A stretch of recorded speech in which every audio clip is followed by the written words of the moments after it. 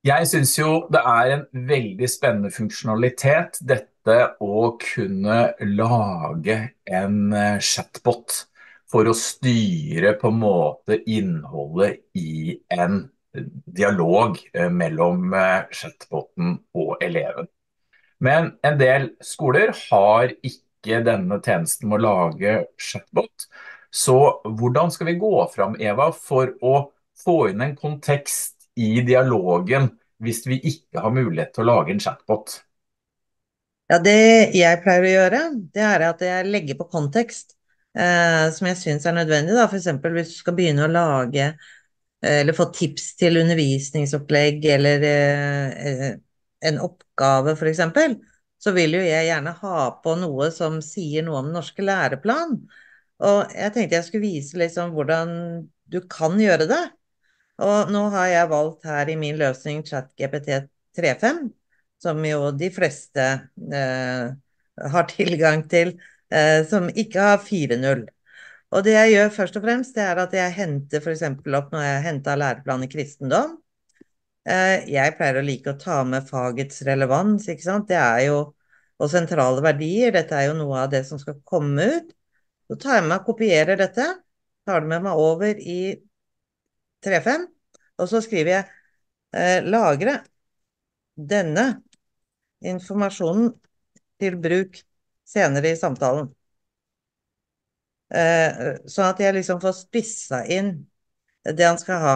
Så kan, eh, må du jo velge liksom hva jeg pleier ofte å ta med kjerneelementer osv., men nå velger jeg bare å ta med eh, den overordna delen, og så tar jeg med meg nå kompetansemålene etter fjerde trinn, f.eks. Og så skriver jeg her også lagre denne informasjonen eh, til bruk i samtalen.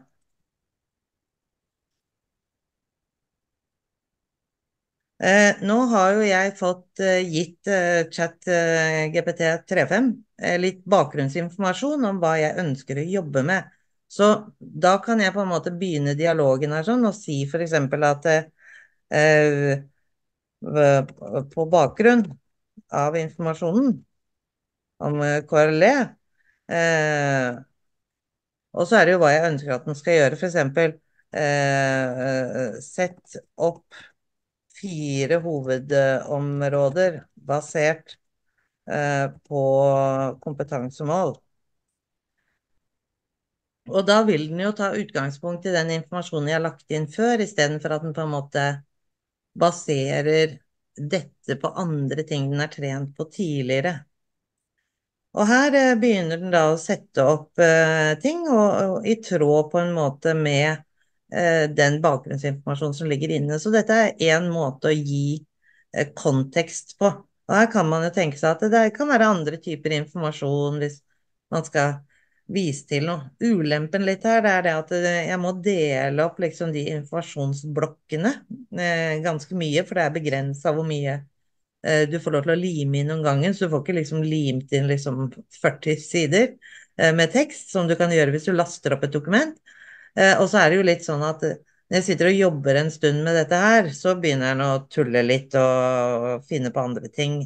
Eh, så det hender at jeg må på en måte starte den litt opp igjen på nytt eh, tidvis, da. Men en enkel måte å gi mer kontekst på, som kan gi litt bedre resultater på det du får ut. Dette er jo spennende, eh, men dette er jo en hverdag som de fleste i norsk skole lever i, tror jeg. For det finnes jo en mye bedre funksjon i ChatGPT 4.0, der du kan lage en GPT. Men skal du bruke den, så må både elever og lærere ha tilgang til versjon 4. Og, og den, eh, den scenario er vi nok et god stund unna eh, i den norske skolen i dag. Ja, så selv om det er å anbefale. Men eh, dette er i hvert fall et steg på veien.